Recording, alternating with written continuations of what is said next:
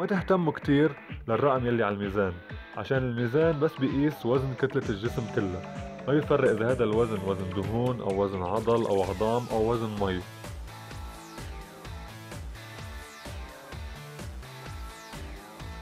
في ناس بيبين إنه عندها زيادة بالوزن على الميزان لكن السبب بيكون إنه وزن الكتلة العضلية عندهم بيكون عالي.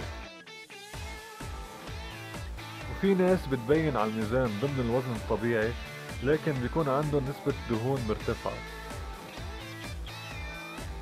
عشان هيك لحتى نقدر نعرف ونفرق إذا هذا الوزن اللي عم نخسره أو عم نكسبه هو وزن دهون أو وزن عضل أو وزن مي لازم نعمل فحص ال body composition.